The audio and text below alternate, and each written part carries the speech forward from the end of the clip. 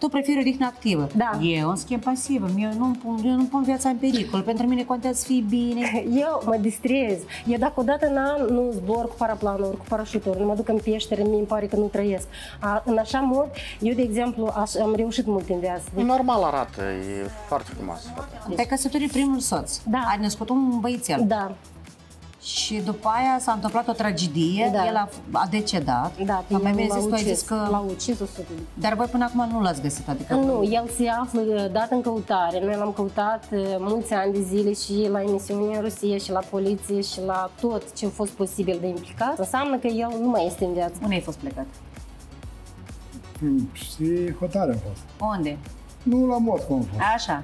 La Federația Rusă ai muncit, peste cât timp te întorci când ai aflat că femeia ta e căs- rec- s-a recăsătorit? Cum s-a întâmplat asta? Nu, dar pe... Unde ai lăsat-o și s-a măritat? E, da, e că am fost, am făcut bani, am trimis bani, am Ai și cu banii tu ai făcut nuntă. Nu și am vrut Bani am trimis bani, am muncit, e într-un Am plecat din partea nașului. Andrei, ăsta e cadru, Ăsta e cadru mare.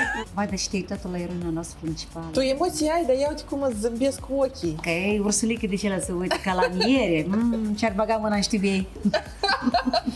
Uh, Știi joaca caldă-rece? Da. Păi, trebuie să o cauți că e la mine.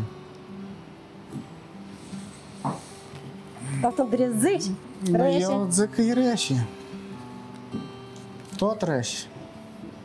Și mai rece. Eu intuiesc cu Nicălduț. Eu am înțeles, dar